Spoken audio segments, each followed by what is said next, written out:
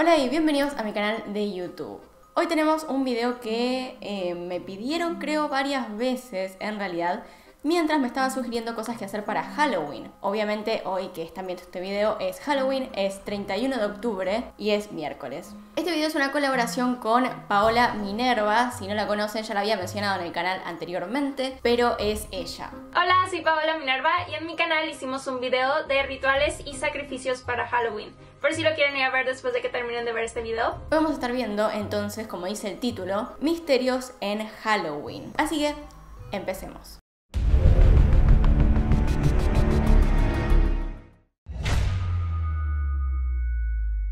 El quinto puesto es sobre el asesino Ronald O'Brien. Bueno, resulta que el 31 de octubre de 1974, O'Brien llevó a sus dos hijos a hacer dulce o truco, que es típico de Halloween. En esta noche en particular fue acompañado por su vecino y sus dos hijos, por lo cual eran seis personas en total. Ahora, la noche no tuvo nada de particular, no hubo nada raro, no pasó nada extraño, excepto al final de la noche que O'Brien le regaló unos dulces a sus dos hijos y a los hijos del vecino. Estos dulces eran Pixie Sticks, algo bastante conocido, eran unos caramelos en forma de tubo, acá tienen la imagen de todos modos, y de paso también O'Brien le dio uno de estos dulces a un chico que conocía de la iglesia que tenía 10 años. Todo parecía normal, es decir, una persona que reparte dulces, no pasa nada. Ahora, el problema llega cuando uno de los hijos de O'Brien, que es Timothy, prueba el dulce que le había dado el padre. Timothy al principio se quejó de que sabía algo amargo y O'Brien le dio en respuesta un poquito de juguito Kool-Aid para bajar el sabor y que, bueno, nada, se pasara. Sin embargo, Timothy se empezó a quejar de que le dolía el estómago y fue a tal punto que tuvo que correr al baño y empezar a vomitar de lo mal que se sentía, por lo cual obviamente fue llevado al hospital nada más que no llegó porque se murió en el medio del camino. Nada más una hora después de probar el dulce que le había regalado el padre. Obviamente acá pasa algo raro, el padre hizo algo. Todo esto de que Timothy se envenenó con uno de los caramelos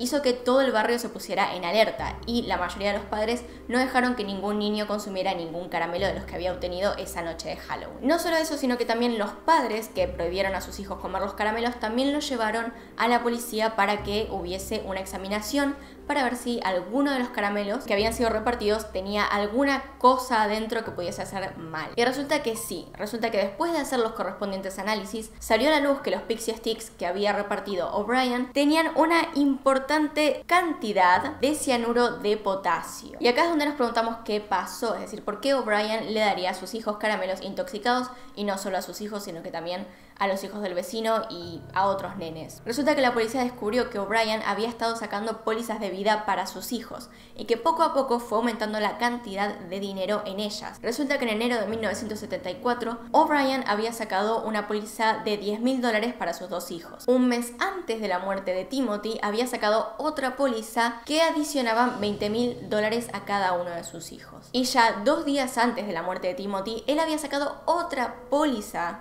de vida de otros 20 mil dólares, por lo cual en total quedaba una cantidad de aproximadamente 60 mil dólares para ambos niños en conjunto. Al parecer la esposa de O'Brien no sabía nada acerca de las pólizas de vida que había sacado O'Brien para sus hijos, así que la policía lo siguió investigando a él. Y obviamente se empezó a teorizar sobre que O'Brien había preparado los caramelos y que aparte se había intentado encubrir repartiendo los caramelos a otros niños, para que digamos la situación se disipara a otras familias y él no quedara en el medio. Aunque definitivamente el misterio duró poco, ya que el 5 de noviembre de ese mismo año fue arrestado y más tarde sería condenado a pena capital.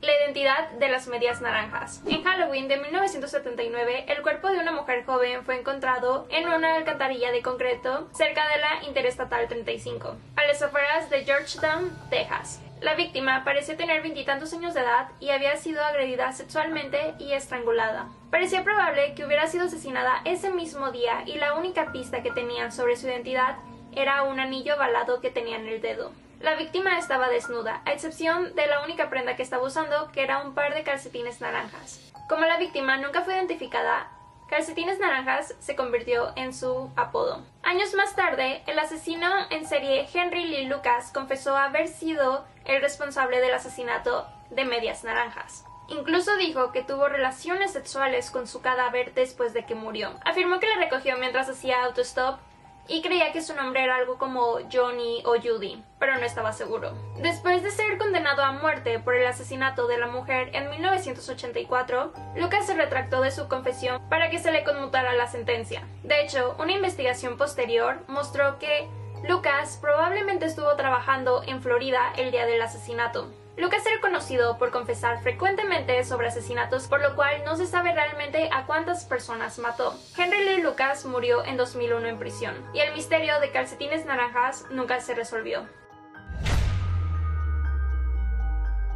El tercero es el asesinato de Marvin Brandland. En 1982, Marvin, de 69 años, vivía con su esposa, Ethel, en Fort Dodge, Iowa. Entonces se encontraban ambos en la noche de Halloween repartiendo caramelos a los niños, desde por supuesto su casa, cada vez que tocaban les repartían caramelos, lo típico. El problema llegó cuando alguien tocó el timbre de su casa y no era un niño, sino un hombre enmascarado. Este hombre dijo, dulce o truco, denme su dinero o les disparo. Obviamente Marvin pensó que esto era una broma, que alguien le estaba jugando una broma y no se lo tomó demasiado en serio al principio, después de todo era Halloween. E incluso intentó sacarle la máscara para ver si era algún conocido, pero este hombre no se dejó. Luego de intentar sacarle la máscara sin éxito, el hombre entró con un arma y los amenazó. Exigió que la pareja los llevara al sótano y le dieran todo el dinero que habían guardado en una caja fuerte. Para este momento los Brandlands empezaron a sospechar que esto no era una broma y que de verdad, de verdad había una persona apuntándoles en su propia casa con una pistola. Así que estas dos personas lo condujeron por su casa hasta el sótano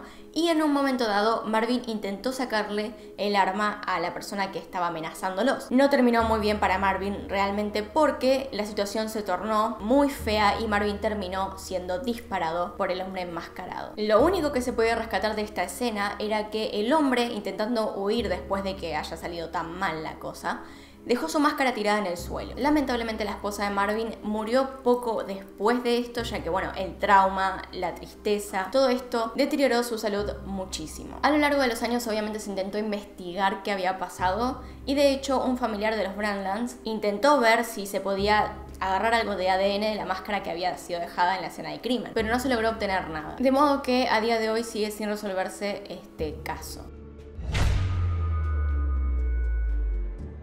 2. La desaparición de Cindy Song. En 2001, Cindy, una estudiante de 21 años de la Universidad de Pensilvania, fue a una fiesta de Halloween en un club nocturno, y unas de sus amigas la dejaron en su apartamento a aproximadamente las 4 a.m. del 1 de noviembre de 2001.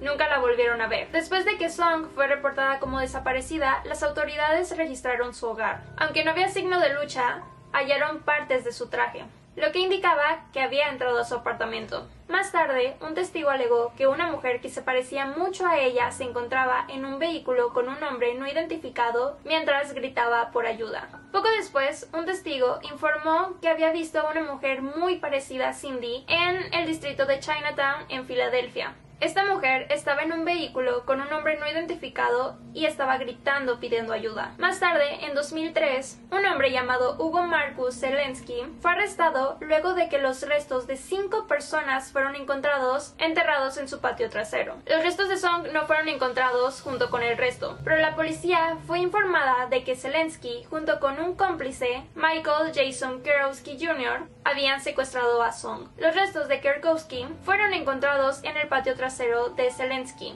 pero ninguna evidencia concreta vincula a Zelensky con la desaparición de Song. Aproximadamente una década después, en enero de 2014, se encontraron los restos quemados de una docena de personas en la propiedad de Zelensky. Sin embargo, los restos de Cindy no se han identificado entre estos. Y la última historia, el primer puesto, es la desaparición de Steven Daman. Esta es una historia muy conocida que pasó en Halloween de 1955. Marilyn Daman llevó a su hijo Steven, de dos años, y a su hija de siete meses, Pamela, a un supermercado en East Meadow, Nueva York. Mientras ella iba a comprar las cosas, dejó a su hijo Steven con su hermanita que estaba en el carrito. Sin embargo, cuando salió pasó algo terrible, que es que se dio cuenta que sus hijos no estaban. Habían desaparecido por completo. Lo bueno es que poco después se descubrió el carrito a una cuadra y media donde estaba Marilyn y en el carrito estaba la bebé. Sin embargo, no había rastros de su hijo Steven. A día de hoy todavía no se sabe nada de Steven, supuestamente, hasta donde sé. Ella debe ser una persona adulta, si es que sigue vivo. Y lo raro es que normalmente Pasan estas cosas con bebés. He visto varios casos donde obviamente la gente no quiere dejar sola a sus bebés ni ahí, porque hay muchas personas malintencionadas en el mundo y están los que quieren tener hijos a la fuerza y están los que quieren a los nenitos para otras cosas que ya vimos un montón de casos horribles. En este caso lo que sorprende es que hayan dejado a la bebé y que se hayan llevado solo a Steven. Normalmente aquellos que roban nenitos se roban a los bebés para criarlos desde chiquitos. Solo podemos especular lo que le haya pasado a Steven. No sabemos realmente nada acerca de lo que le pasó. Obviamente una de las especulaciones es que se hayan llevado a Steven y le hayan cambiado la identidad, por lo cual se intentó buscar con pruebas de ADN a ver si se lo podía reconocer de alguna manera y no, no funcionó. Llegó a tal punto todo esto que hubo gente que creyó que Steven podía ser el chico en la caja de Boy in the Box. Probablemente conocen ese caso, yo no lo hice, pero es un caso muy conocido y llegaron a pensar que podía ser Steven. Sin embargo, se probó que tampoco era. En cierto punto, en 2009, llegó un hombre llamado John Barnes que creía que era Steven, así que le hicieron todas las pruebas de ADN y no, tampoco era, dio negativo. Y a día de hoy sigue siendo posible que esta persona haya crecido y que no sepa realmente cuál era su identidad antes y que no se acuerde de su otra familia. Bueno, ese fue todo el video por hoy, espero que les haya gustado. Por favor vayan al canal de Pau para ver sus videos y para ver el video que tiene conmigo, porque yo aparezco obviamente, esto es una colaboración, así que hay un video en su canal, vayan a verlo, abajo va a estar el link. Espero que les haya gustado el video, acá tienen un video nuevo, acá tienen un video recomendado, se pueden suscribir haciendo clic en mi cara y nos vemos en otro video. Adiós.